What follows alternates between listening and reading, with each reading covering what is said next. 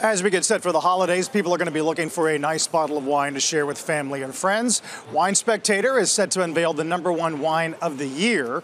And joining us now to make the reveal, the magazine's executive editor, Tom Matthews. It's good to have you back. Thank Welcome. You, you want to do this first? Let's talk about it. Okay, well, let me give you a little context. Wine Spectator reviewed more than 15,000 wines in 2019 in blind tastings. So to pick the top 100, not so easy. We use a multivariable analysis. We take the quality, which is the score, the value, which is the price, availability, and what we call the X factor, what makes a wine exciting.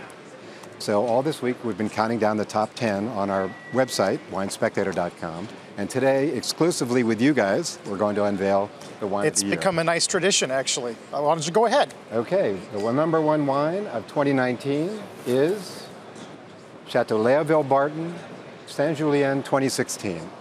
This is a red Bordeaux made mostly from Cabernet Sauvignon.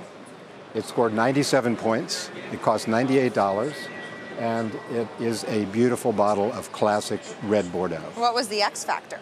The X factor is the fact that this chateau has been in the same family since 1826. And uh, they're wonderful people. They're Irish, actually, the Barton family. They're now run by Anthony, who's 88, and his daughter Lilian. And they've always been very fair priced. The average price for a 97 point wine at Wine Spectator this year, $475. This bottle, $98. So good value for Bordeaux. What would you say about the universe of candidates this year versus prior years? more diverse than ever. We have 44 wines first time appearance. We have 17 countries. We don't have any orange wines, Leslie, not this year, but maybe next year because those are definitely coming on. But the classics are always classic.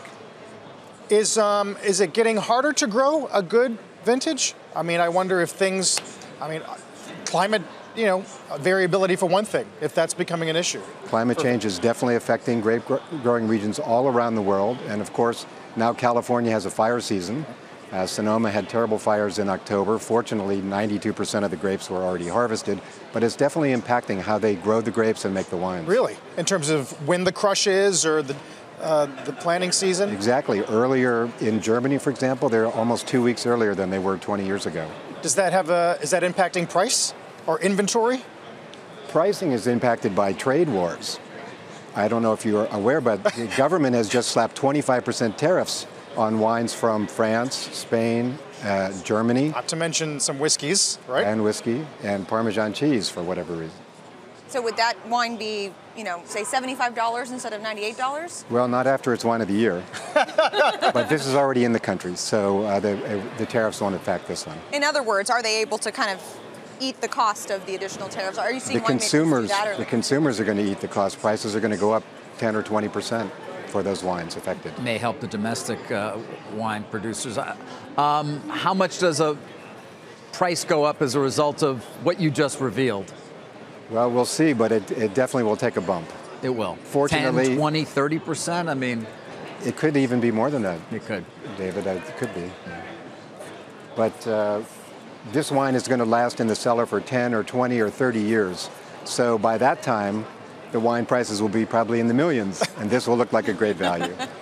Tom, you you come in every year and help us uh, unveil this. It's great to see you. Thank you so much. Congratulations as always. Thank you so Get much Get to work on next me. year. All right. Tom Matthews. Thank you.